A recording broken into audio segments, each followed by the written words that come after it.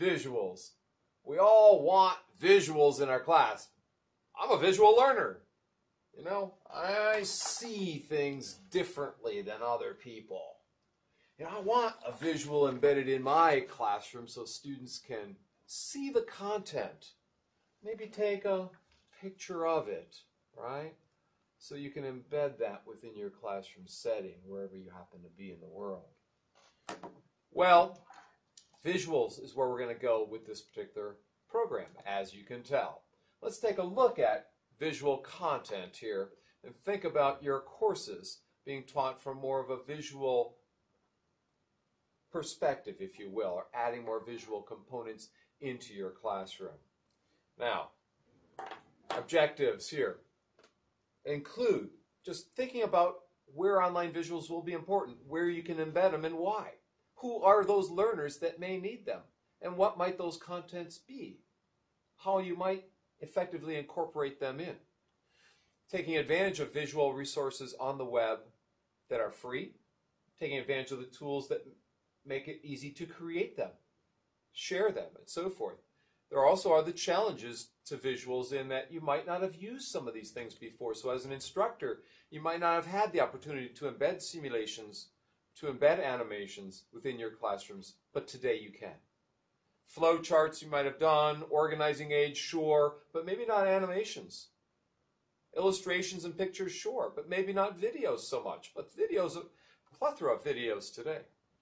Plethora of photos on the web from everystockphoto.com, Flickr in open source photography, Blip TV for videos in Creative Commons. You know, we've got many ways to visualize contents from timelines, concept maps, taxonomies, you name it, there are ways to visualize it. Animations? Sure, you can find an animation for almost any principle or concept that you can think about. Whether you're teaching about meteorology and looking at hurricane formation, you know, in the Caribbean, right? Ike, Katrina, and others hitting the coasts of New Orleans and Houston and Florida and so forth whether we're talking about virtual tours and field trips around the world or safaris online. Whether we, we might have adventure learning, where someone might be exploring in the Arctic or exploring on the high seas and sending back images as they explore out there in the far reaches of the planet or beyond the planet, up in space somewhere, right? People might have blogs with videos attached to them, so it's not just text, but a video with a blog. You have to, though, consider things like storage capacity, cost, risk of exposing those sensitive materials to your students. You know, what kind of space is required? Today, we can store five hour lectures on the web without people blinking. Ten years ago, five minutes would cause a lot of uh, concern and pose a challenge to people. Costs have come down, storage capacity has gone up, bandwidth has gotten better, but there's still many concerns. And there are many opportunities that didn't exist 10 years ago, like concept mapping. I personally have been complaining about the lack of concept mapping tools for a decade, and now we have Bubble.us and Gliffy and Mindomo. We have a visual thesaurus, a periodic table of videos, you know, so you can do concept mapping or simulations, virtual archaeology, and autopsy. University of Leicester has virtual autopsy, slice them and dice them. I don't go there. But I do go to bubble.us for my concept mapping needs. I do go to Gliffy and FreeMind for such. To display your content, display your knowledge on the web. To display your learning through a timeline, like the Simile tool from MIT or learning tools from the UBC, University of British Columbia. When you can get all your ideas on a concept map, on a timeline, you can compare them, juxtapose them, share them, present them, change them, archive them.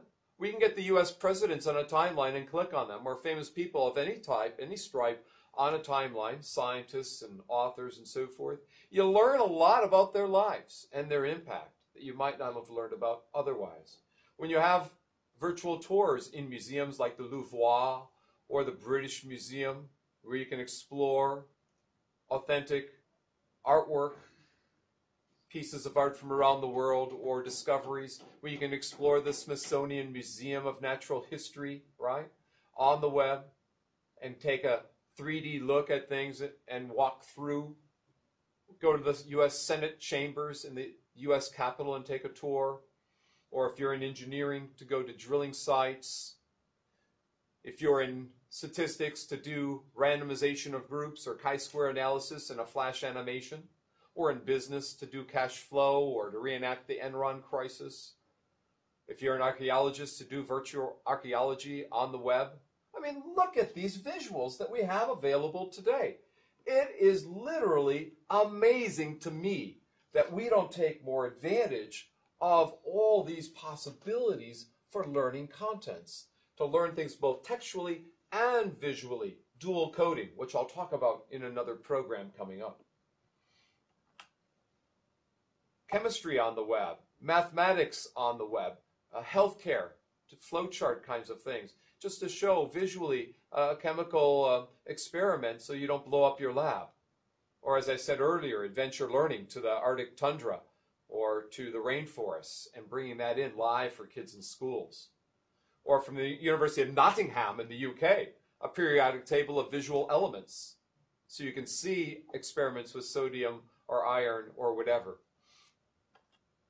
World Mapper tool to visualize world databases, to see science growth by country, or pancreatic cancer deaths, or youth literacy by country, or medical animations and simulations in YouTube to explain gastric bypass surgery or something of that nature, or embryo embryonic, uh, human embryology animations.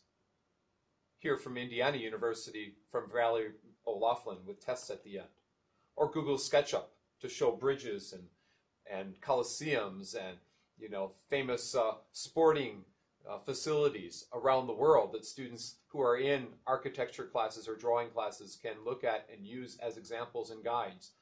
But there's so much out there, you have to think about what are you going to be able to use if you've got students who might be out there without the high speed or bandwidth, who might not have all the tools and resource capabilities that you have on your desktops, that might be learning disabled visually, and you might have to rely on audio components.